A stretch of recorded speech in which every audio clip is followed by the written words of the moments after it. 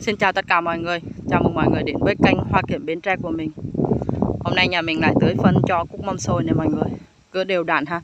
4 đến 5 ngày thì à, tưới cho cúc mâm xôi một cự phân kết hợp với rừng rễ. Để mình quay cho mọi người xem ha. Ở bên này là cái khu vườn của anh Cường này. Xa xa kia là của bác này cũng đang à, tưới phân. Bên này của anh Chút cũng đang tưới này.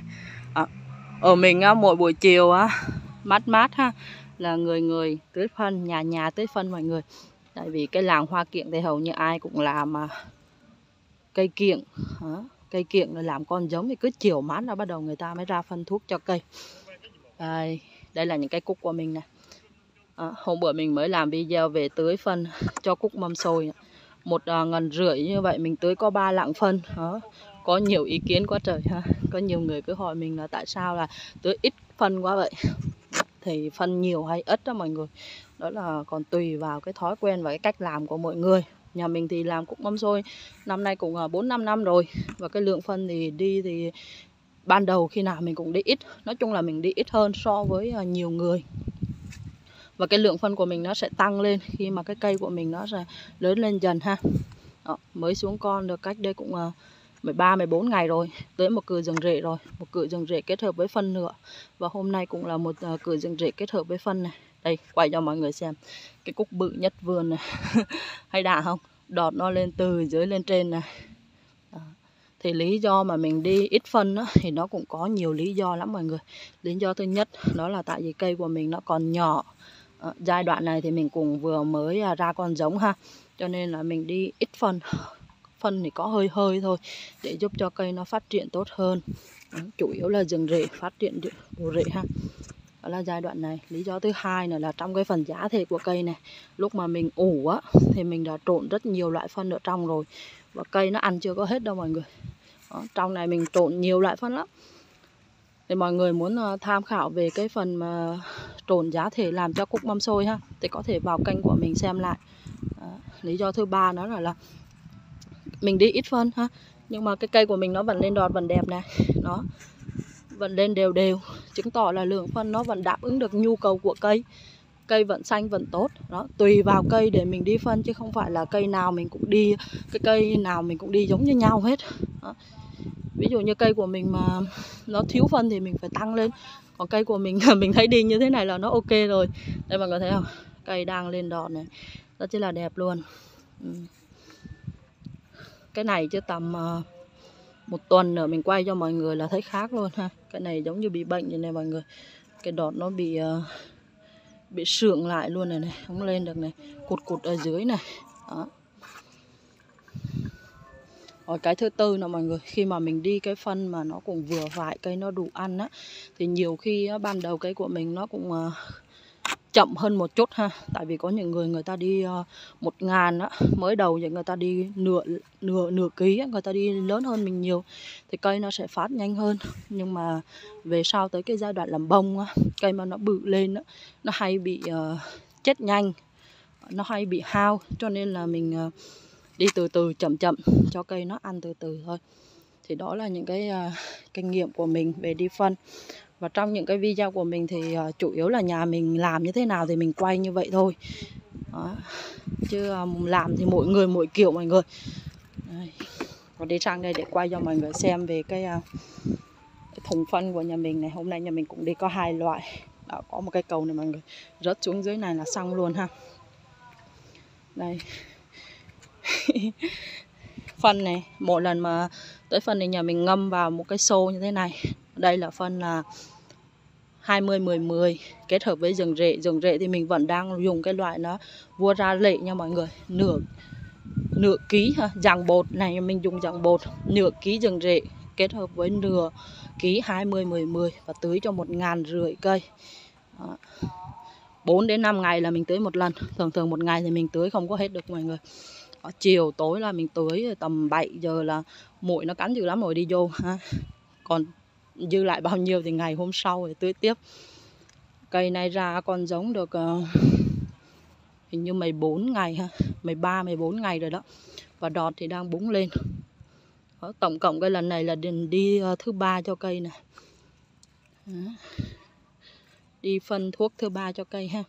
Thì uh, những cái vấn đề mà về à, chăm sóc cúc mâm xôi này phân thuốc cho cây thì trong kênh của mình có video hết rồi. Mọi người có thể vào tham khảo ha. Cứ đều đặn mỗi lần mà mình tưới phân xịt thuốc cho cây á, thì mình đều làm video cập nhật cho mọi người xem. À, cũng có nhiều cây đẹp và cũng có nhiều cây xấu. Đấy. nhưng mà mình tin thì cái này tầm một tuần hai tuần nữa thì à, các cái đọt ở những cái nách lá thì nó sẽ nhú ra được hết đồng loạt hơn thì nhìn nó sẽ um tùm hơn à, đây là cái anh này đang tới phần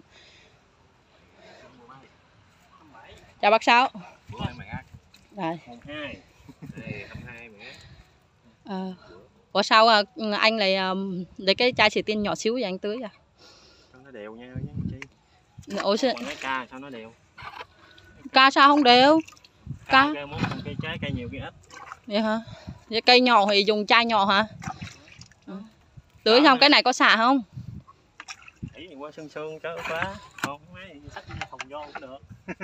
Tại vì ở chỗ mình đang mưa mà đúng không? Lỡ mai tối về mưa sao ha? Đó, tưới một cây một quơ như vậy. Ừ. Ở đây là rừng rễ ha, với 20 10 10 ha. Nửa ký rừng rễ, nửa ký 20 10 10 vậy là kết hợp lại cũng một ký rồi chứ gì nữa. Hồi trước mới có hai làng à, nay tăng lên dữ vậy? Để lên đọt không thấy À, ha. tại vì hồi trước là cây nó chưa có đọt. ừ. Tám con á. không có mà mày có mạng ngàn cái gì à, tại vì hồi trước là nó chưa có lên đọt này mọi người, nhưng mà nay nó lên đọt rồi. Một Để nó từ từ. mỗi cây mỗi nách lá như vậy là nó lên đọt rồi cho nên là phải à, tăng cái lượng phân lên đó thấy không thấy bác nói không nói nhà mình tưới uh, tưới nửa ký là yếu đó mọi người bình thường người ta tưới uh, một ngàn rưỡi chắc cũng phải một ký bác sáu hai. Tám năm gì đó 800 gram hả? À, bình thường một một ngàn rưỡi ha. Một ngàn rưỡi là 8 lạng phân. Mà nhà con đi có uh, 5 lạng. Nhà con đi yếu. Đúng rồi. Hôm bữa con đi có hai lạng đó bác sáu. Chứ mới tự nhiên đi ghẻ phân vô là nó hư ghẻ thì sao? Hư ghẻ rồi cái nhưng mà đi ít phân thì, thì nó chậm đọt? Đâu? Nè. ủa không sợ sâu hả ồ con sâu hả Thấy không, ta ta mới xịt đây mà. tại vì ra. Không, con sâu đen ăn. đây nè đó, ờ, bắt đây đây nè Đâu rồi? Bắt nè hả? ờ ủa nay có Sâu ăn à sâu mấy ngày xịt một lần Chắc mời xịt nó quá. chắc mai xịt à ừ. thuốc sâu phải có thay đổi không có chứ ha ở vậy? Hả? ngắt đọt mà còn sót cây Dạ. Ừ. hôm nay bác cùng tới phân hả? Đấy, nhà nhà tới phân người người tới phân nè. Chiều là ra tới với nhau. Đây này quay xa để cho mọi người thấy ha. Đó ngàn rưỡi là người ta phải đi ờ, uh, 800 gram á mới vừa đó mọi người. Mình đi có 500 gram là ít nha. Đó. nhưng mà như mình đã nói lời lúc trước ha tại vì trong cái phần giả thể của mình này là có một cái lượng phân ở trong rồi. Cây nó vẫn ăn chưa hết. Và mình đi ít phân nhưng mà cây của mình nó vẫn lên đọt đều đó, cây vẫn xanh vẫn tốt như vậy là nó vẫn đáp ứng được cái nhu cầu của cây đó. cho nên là cái lượng phân của mình đi như vậy đây đây mọi người thấy không đó. có một số đọt làm cho nó sừng sừng anh hiệp Nó- dạ hả quá liều hả Xịt xong rồi nắng rồi là biến xả. Thấy mưa tưởng không cho ai. dạ hả Mưa nhỏ. vậy mà mình đang nghi ngờ nhân sinh nè đó xịt thuốc sâu mà làm nắng này không có xả. Tại vì ở chỗ mình thời tiết không biết khi nào nắng khi nào mưa luôn. Sao. cho nên mọi người có xịt thuốc sâu thì à, xịt vào chiều mát đi ha. Để sáng mai ha xả lại ha. Còn mình ở đây thì có một cự thôi mà có một số đọt nó bị sừng sừng. Ừ vài cây thì vài cây nhưng mà vẫn thấy thì tại không biết nguyên nhân làm sao mà nó bị đứng vậy chứ. Biết được thì mình à, tìm được cách mình trị còn như mình không biết được á, khổ nhất là khi mà làm một cái gì á mà mà, mà, mà thấy sai mà không biết được sai từ đâu mọi người. Đó, biết sai mình còn biết sửa. Mà không biết sai ở đâu là không biết cách sửa. Ui cái này lên đọt đẹp quá trời là đẹp luôn ha. Đấy. À. Những cây này là chắc bị à, véo luôn này mọi người. Thuốc sâu á. Cây nhỏ cho nên mọi người uh, chăm sóc nói chung là kỹ một chút.